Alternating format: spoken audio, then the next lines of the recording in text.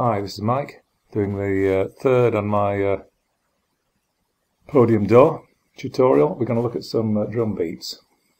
So what I've done is to uh, mention some instruments you might want to use here. So we're going to create, we're going to use a project, we're going to add a track, we're going to put a drum instrument on it. So here's some names you might want to Google for. There's DigiDrum Pro, Drumatic, DR Fusion, Drumcore.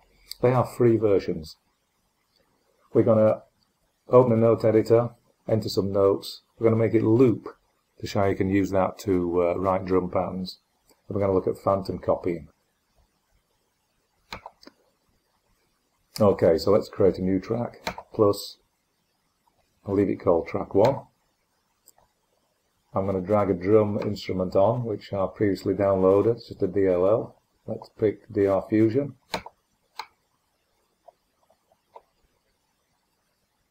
Okay, so I can left click on the name and get some settings. I can alter the sounds of each uh, drum instrument. I can right click on the name and I can go to some presets. I'm not going to do any of those things here. I'm going to create a two bar pattern. So uh, just going to scroll left here.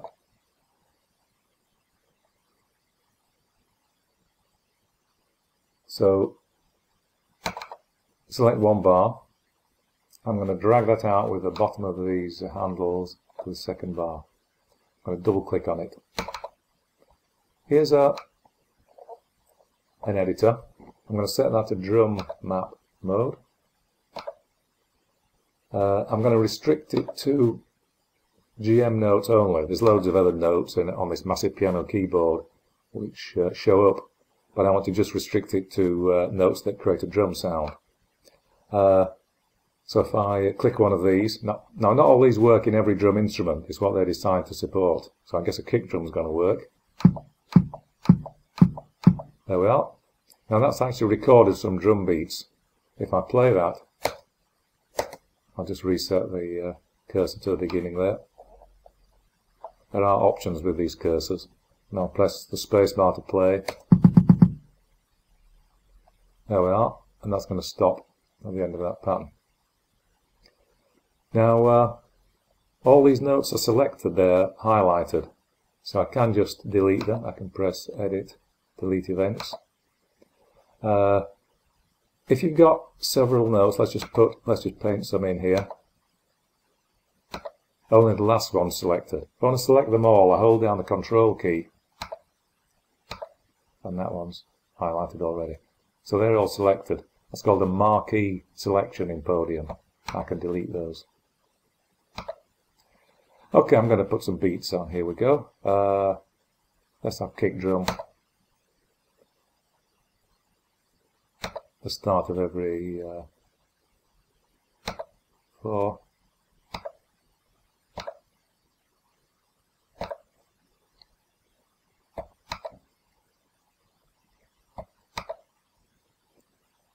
Double click if you want to delete one in the wrong place. There we are. In fact, this one's in the wrong place. To drag a note, click near the center and drag with the mouse. There we are. If you click near the edge, you can lengthen the note, which in drum terms doesn't make any difference, but we'll use that later on. So I'm going to drag that note to where it should be. I could have copied and pasted. So I can select these beats with the mouse and drag them. In fact, I can drag several at once if I want to, if I've selected them with the control key. You can alter the uh, volume of a note here at the bottom there. So I'm just going to drag that down. Let's just play that by pressing space. You might have heard the change in volume. If I want to select, alter the time signature or tempo, I go down here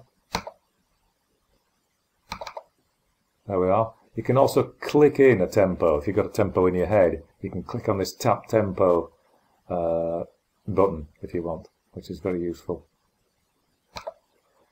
Okay, so I'm going to put uh, some more instruments on. Let's put a snare here and snare there. Let's make these two bars different. So I'm going to put uh, snare there and hand clap. Let's play that.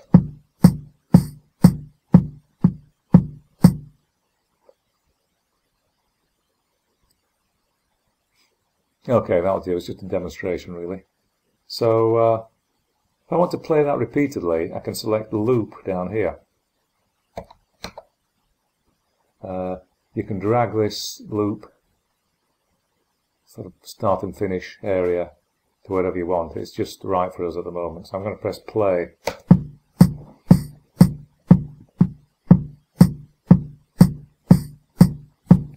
So while this is running, I can put in some other beats.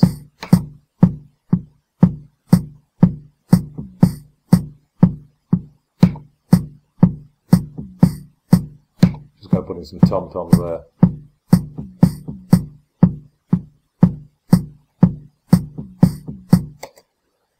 So you can build up a pattern like that, that's, that's a great feature.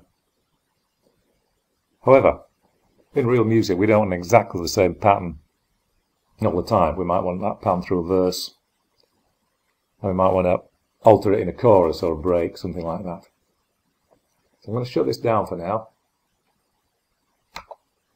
So this area is selected and you can see a little version if you look closely, little version of the uh, beats.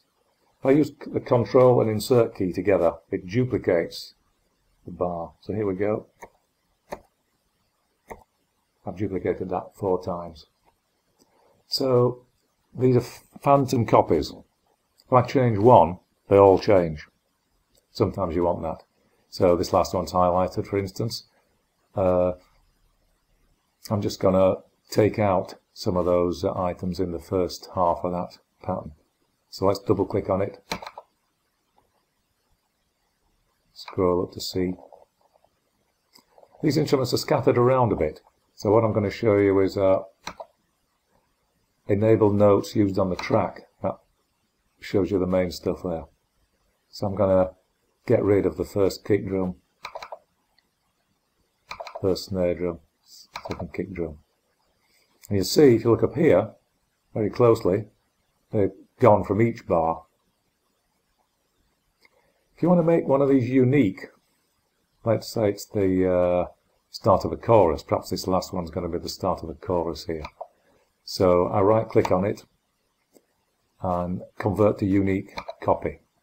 I can now edit this. Let's uh, let's take out all the kick drums. That won't sound any good, but we'll do it.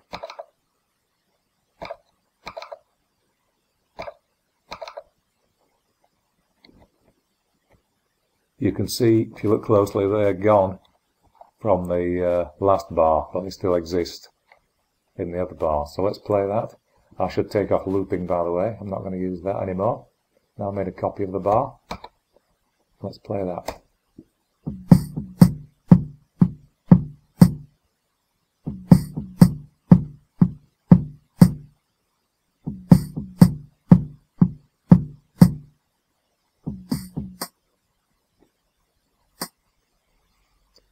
Okay, so you could hear the point of that, I mean it's rubbish, but the point of that is to show you that the uh, last bar is now a unique copy.